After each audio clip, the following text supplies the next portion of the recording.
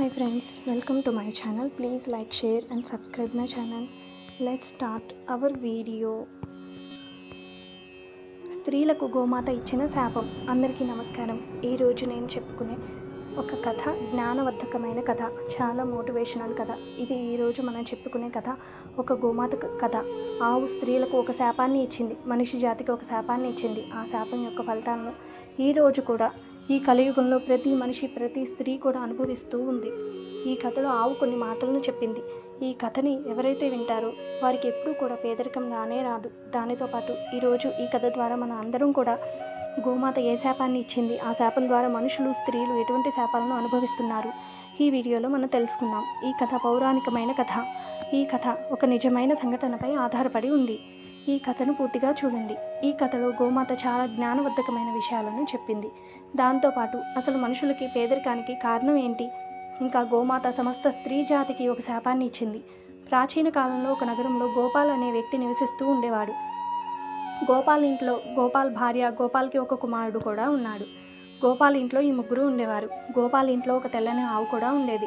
గోపాల్ ఒక రైతు. తన పొలంలో ఏదో ఒక పని చేసుకుని ఆ పొలం నుండి వచ్చే ధనంతోనే తన ఇంటి ఖర్చులను చూసుకుంటూ ఉండేవాడు. గోపాల్ తన సొంత సంపాదనతోనే తన ఇంటి ఖర్చులు అన్నీ చూసుకుంటూ ఉండేవాడు. గోపాల్ ఇంట్లో ఉండే ఆవు చాలా ఎక్కువ పాలను ఇస్తూ ఉండేది. తాను ఆ పాలను అమితమైన ఇంటి ఖర్చులన్నిటికీ ఉపయోగిస్తూ ఉండేవాడు. అదేవిధంగా జరుగుతుంది. గోపాల్ తన అవసరాలను గురించి ఆవు పాలను అమ్ముతూ ఉండేవాడు. కొన్ని రోజుల తర్వాత ఆవు పాలు ఇవ్వడం మానేసింది. గోపాల్ ఆవును తీసుకుని వెళ్ళి అడవిలో వదిలేశాడు. ఆవు అడవిలోనే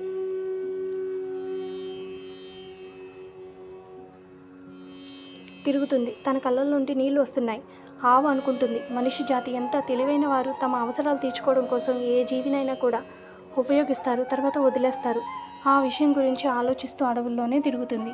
ఆవు ఆకలితో దాహంతో ఏడుస్తుంది. తర్వాత ఆవు గర్భవతి అవుతుంది. ఆ గోమాత గర్భవతి అయిన తర్వాత ఆవు తిరుగుతూ ఆ ఊరిలోనికి వెళ్తుంది. ఆ ఊరిలో మీనా అనే ఒక మహిళ నివసిస్తూ ఉంది. మీనా వాళ్ళ ఇంట్లో ఒకటే ఉండేది. మీనా కొంచెం చంచలమైన స్వభావం కలిగింది. మీనా ఇప్పుడు ఏం మాట్లాడుతుందో ఎవరికీ తెలియదు ఆ గోమాతకు ఆ నగరంలోకి వెళ్ళగానే ఆ మీనా అనే ఆవిడ కనిపిస్తుంది. మీనా దృష్టిపై గోమాతపై పడింది. ఆవు గర్భవతి చాలా కొద్ది రోజుల్లోనే ఒక బిడ్డకు జన్మనిస్తుంది అని అనుకుంటుంది. మీనా ఆవును చూస్తూనే మీనా ముందుకు వెళ్ళిపోతుంది. కొద్ది రోజుల్లోనే ఆవు గర్భవతి కదా అది ప్రసవించే సమయం వచ్చేసింది. ఆవు అడవిలోనే ఒక చెట్టు కింద కూర్చుని అదే సమయంలోనే తను తన ఇంట్లో ఉన్న పశువుల కోసం గట్టి కోస్తూ ఉంది మీనా. ఆ సమయంలోనే గోపాల్ వదిలేసిన ఆవు ప్రసవిస్తూ ఉంది. మీనా అక్కడే ఉన్న కారణంగా మీనాకు తెలిసింది ఆవు ప్రసవించింది అని. ఆవు తనకు జన్మనిచ్చిన ఆ లేగ దూడను చూసి చాలా సంతోషించింది. దాని తర్వాత ఆవు అటు ఇటు చూసింది అక్కడ ఎవరైనా ఉన్నారా అని. ఇంతలోనే ఆవు మీనాని చూసింది. తను అక్కడ గడ్డి కోస్తూ ఉంది. ఆవు మీనా దగ్గరికి వెళ్ళి మీనాతో అంటుంది అమ్మ నేను గర్భవతిని.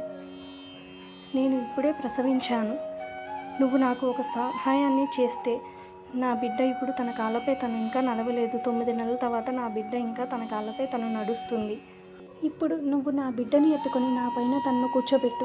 నేను తన్ను ఒక సురక్షితమైన ప్రదేశానికి తీసుకువెళ్ళి అక్కడ ఉంచుతాను. ప్రాచీన కాలంలో చెప్పేవారు మనిషి జాతి జీవులు మనిషి ప్రసవించగానే అంటే బిడ్డ పుట్టగానే తన కాళ్ళతో తను నడిచేది. పశువుల యొక్క బిడ్డలు అవి ప్రసవించిన తర్వాత వాటి బిడ్డలు తొమ్మిది నెలల తర్వాతే నడుస్తూ ఉండేవి.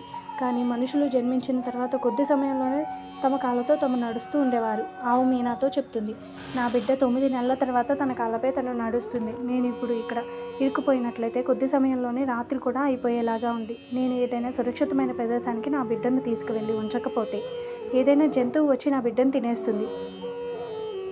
ఆవు చెప్పిందంతా విని మీనా ఎగతాళి చేస్తూ ఉంది. ఆవును చూసి నవ్వడం మొదలుపెట్టింది. తను అంటుంది నువ్వు ఎటువంటి ఆవువి? నీ బిడ్డ సుఖాన్ని నువ్వు స్వయంగా చూసుకోలేవా? నువ్వు ఎటువంటి తల్లివి? అని ఆ విధంగా మీనా ఆవుని ఎగతాళి చేసింది.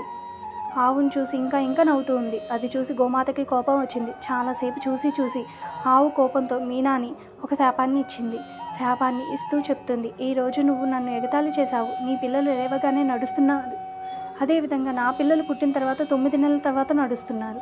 అందువల్లనే నువ్వు నన్ను ఎగతాళి చేస్తూ ఉన్నావు కదా. అందువల్ల నేను నీకు ఈ సేవని ఇస్తున్నాను. ఈ రోజు నుంచి సమస్త మనిషి జాతి తమకు కలిగే సంతానం తొమ్మిది నెలల తర్వాత మాత్రమే కాళ్ళపై నిలబడగలుగుతారు.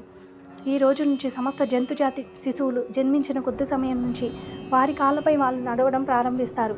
గోమాత మీనాకి ఇచ్చిన శాపాన్ని ఇందువల్లే ఈ కారణంగానే అందువల్లనే మనిషి జాతి స్త్రీ గర్భవతి అవుతుంది. తను తొమ్మిది నెలలు నిండిన తర్వాత సంతానానికి జన్మనిస్తుంది. ఆ పిల్లలు తొమ్మిది నెలల తర్వాతే కాళ్ళతో నడవడం ప్రారంభిస్తారు. ఇదంతా కూడా కేవలం ఒక శాపం కారణంగానే జరుగుతుంది.